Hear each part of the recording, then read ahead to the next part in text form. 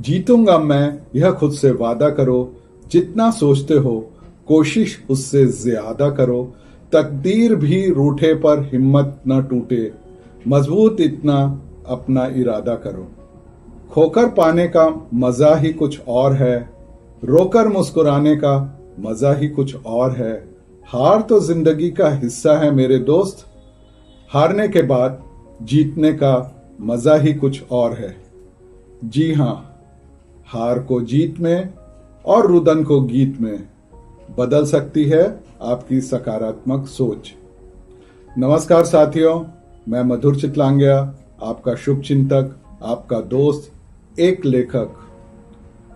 राजनांदगांव के परम विद्वान डॉक्टर बलदेव प्रसाद मिश्र की पंक्तियाँ हैं।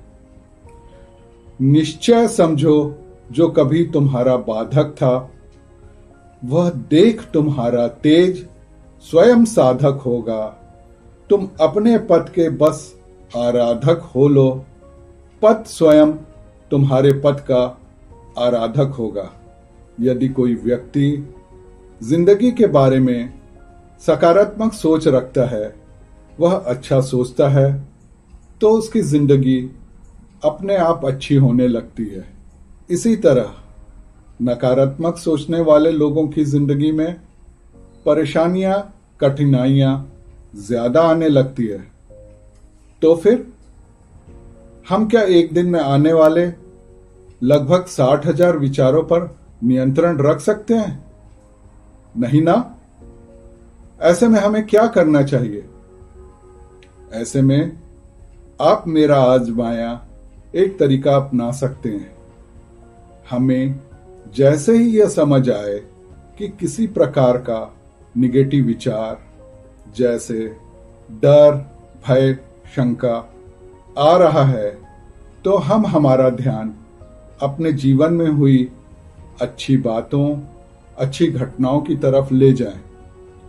कुछ दिनों में आप देखेंगे कि चमत्कारिक रूप से आपके जीवन में अच्छी बातें होने लगेगी और आपका एनर्जी लेवल काफ़ी बढ़ जाएगा।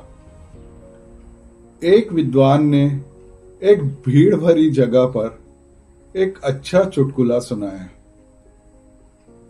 सभी लोग ज़ोर ज़ोर से हंसने लगे। थोड़ी देर बाद उसने वही चुटकुला सुनाया।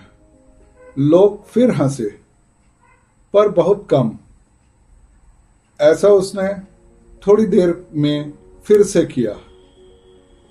तब एक समय ऐसा आया कि कोई नहीं हंसा। इस पर वह विद्वान बोला, जब मैंने चार बार रिपीट होने के बाद वही जोक फिर से सुनाया तो कोई नहीं हंसा। इसी तरह, एक ही तरह के दुख व परेशानियाँ हमारी ज़िंदगी में बार बार आती हैं और हम हर बार रोते हैं, परेशान हो जाते हैं। यदि बुद्धि का उपयोग करें तो एक ही तरह की परेशानी में भावनात्मक तीव्रता कम करके हम सहजता से जी सकते हैं। कितनी ज़बरदस्त बात है यह। अच्छी व सकारात्मक सोच आपके जीवन में न्यूनतम पीड़ा व अधिकतम समृद्धि लाए, यही मेरी सद्भावना, यही मेरी शुभकामना।